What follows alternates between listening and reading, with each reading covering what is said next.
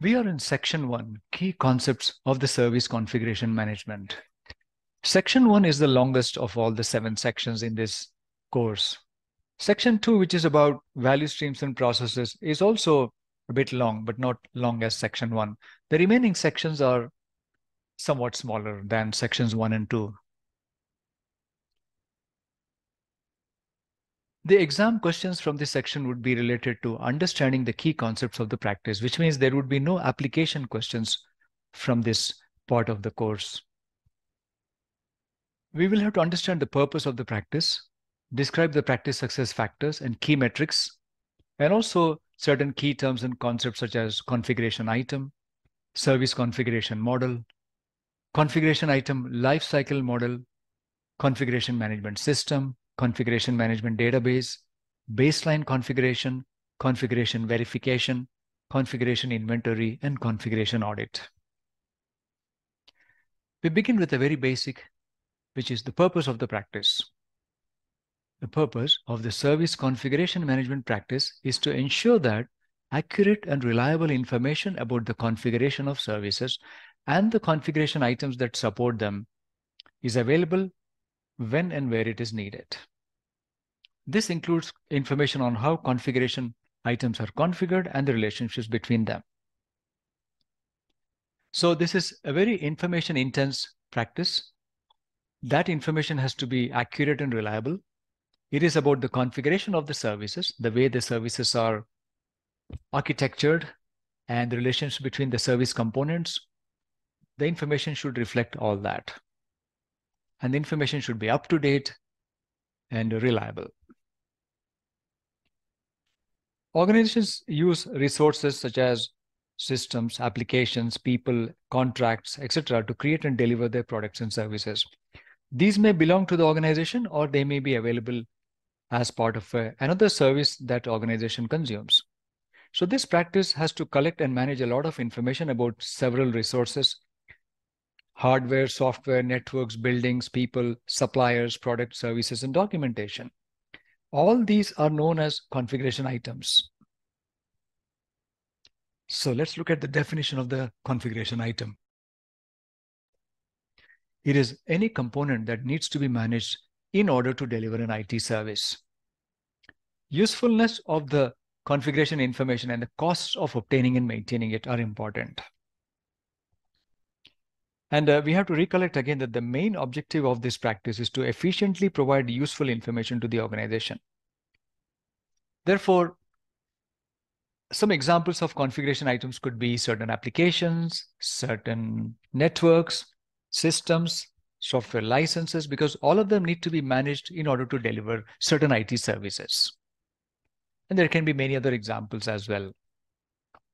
Therefore, it is important that whatever resources the practice brings under its control, whatever components it brings under its control as configuration item, that should be defined by the usefulness of the information and the cost of obtaining and maintaining it. Therefore, it would be unnecessary to record and maintain information which is not of much use.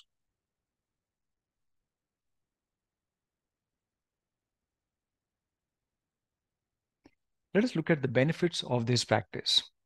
This practice is an important element of service management. In fact, in some of my experiences, I had worked along with my colleagues to implement this service configuration management first, even before incident management or other practices.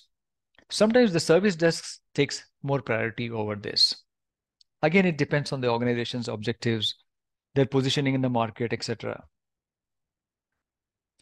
So this practice is therefore beneficial for both the service provider and the service consumers. There are several benefits for the service provider. They can understand the risks and do better risk management because they understand the configuration items and the relationships between them. For example, they will know which application is running on which set of servers and what other components they are connected to. The service provider can do better planning and control of changes because they can do better impact assessment having understood the relationships between the service components involved in the change. And in a similar way, the provider can understand and manage the capacity, availability, and security of those IT services and components. because they have clear visibility of the information and the relationships between the components. They can also accurately allocate service costs because they have a clear view of the service uh, components and the CIs involved. Then uh, this leads to better understanding, planning, and control of the service performance. They can create uh, reports by configuration item or by a set of configuration items or by location, etc.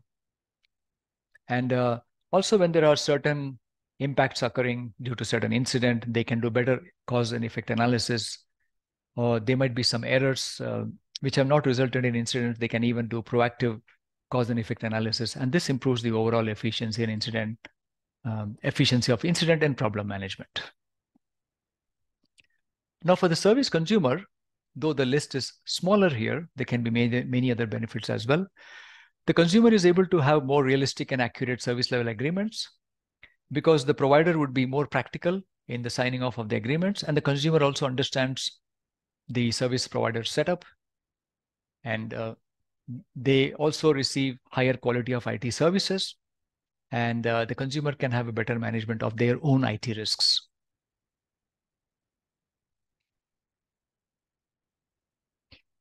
So as mentioned earlier, the practice is an important element of the overall service management of any organization. And once again, this practice efficiently provides useful information to the organization.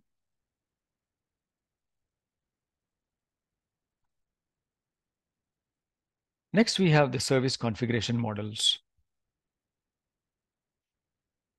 Um, the practice of service configuration management involves identifying and documenting the relationships or connections between the configuration items. So this results in service configuration models. What are they?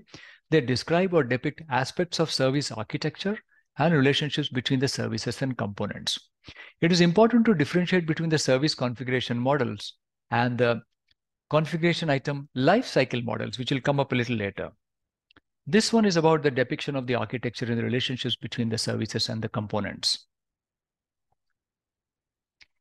So uh, they may be designed, maintained, and presented at high or functional levels or physical or digital levels as per the stakeholders' needs. So it can be um,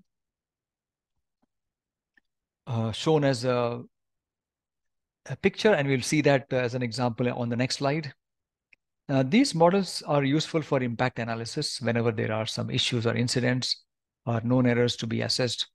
Uh, and for a similar reason, cause and effect analysis of those situations, risk analysis, cost allocation, availability analysis and planning. And we have seen that these are also some of the benefits for the service provider from this practice. Therefore, these models should be designed and maintained to meet the stakeholders' needs.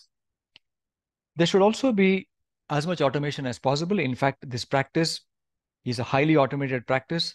It relies on the collection, maintenance, and control of large amounts of configuration item data. And uh, most of the times uh, requires building, maintaining, and presenting complex configuration models. The practice involves gathering data from multiple sources and uh, combining them or integrating them and presenting them in a meaningful way to stakeholders as per their requirements. And therefore, there are many specialized tools which are used in this practice um, uh, apart from monitoring, discovery, analytical, and record keeping systems. And uh, this practice also integrates uh, its own records with uh, information from other practices such as IT asset management, incident management, change enablement, problem management, monitoring and event management, service request management, and other practices. Some configuration models are difficult or uh, may not be even possible to automate. Therefore, uh, they require manual data maintenance and relationship mapping, uh, such as user data, organization structures, and contracts with partners and suppliers. Of course, manual efforts will have their own costs. And also the manual uh, data has to be integrated with the other automated uh, means of uh, gathered data. And all these should be considered when the practice is being designed and improved.